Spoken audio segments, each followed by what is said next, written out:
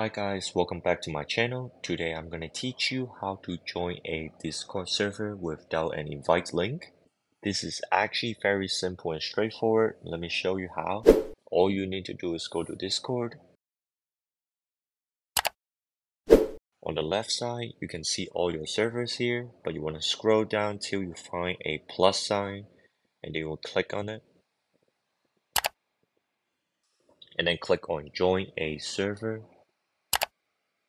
then all you need to do is to type https colon slash slash discord dot gg and then you want to type on the server that you want to join.